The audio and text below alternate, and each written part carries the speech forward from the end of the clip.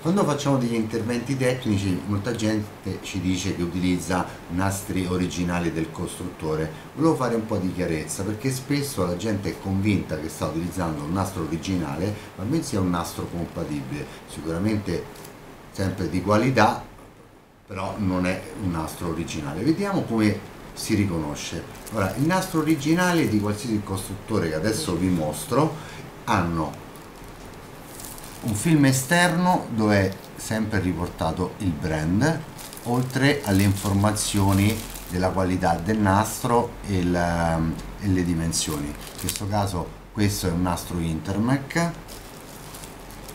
I nastri Toshiba sono marcati in questo modo e anche l'anima interna come vedete c'è la scritta del brand oltre al bollino esterno.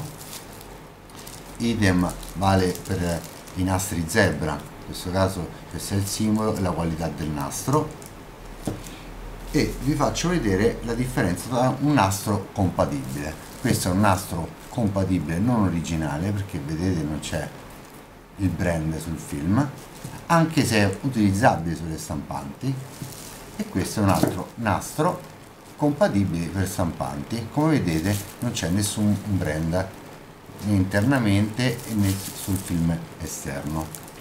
Quindi è importante anche quando chiedete delle quotazioni o delle offerte di verificare bene se vi stanno offrendo un nastro per stampante Tech, Zebra, Intermec o Honeywell o un nastro originale perché comunque la differenza c'è che può essere anche nella struttura del nastro nella, nella resistenza agli attriti può proteggere il film sono fatti in modo di proteggere in maniera diversa la testina dalle cariche elettrostatiche, per cui ci sono molte valutazioni da fare, oltre ovviamente al prezzo.